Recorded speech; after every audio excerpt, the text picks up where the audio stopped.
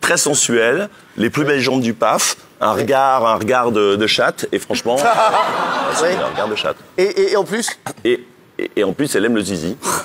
eh ben, Et j'en ai un. Le meilleur, le meilleur moyen, c'est de demander à son mari, il est là. Boris, Non Non Boris peut rentrer.